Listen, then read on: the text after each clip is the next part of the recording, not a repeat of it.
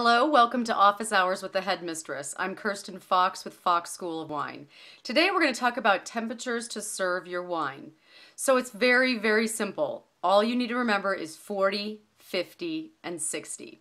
40 degrees for a sparkling wine straight out of the fridge, straight out of the ice. And as you're drinking it, if you're not pouring it all in the first pour, go ahead and put it back in the ice and back in the fridge to keep it chilled. White wines, 50 degrees.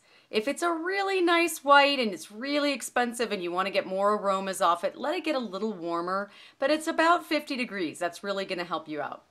And then reds, believe it or not, around 60 degrees. Slightly warmer, 62 to 65, but with your hand and with the temperature of the room, that red's going to warm up very quickly. So the best way to get it to those temperatures, keep your sparkling wine in ice and fridge, take your white wine out of the refrigerator 20 minutes before you drink it and put your red wine into the refrigerator 20 minutes before you drink it.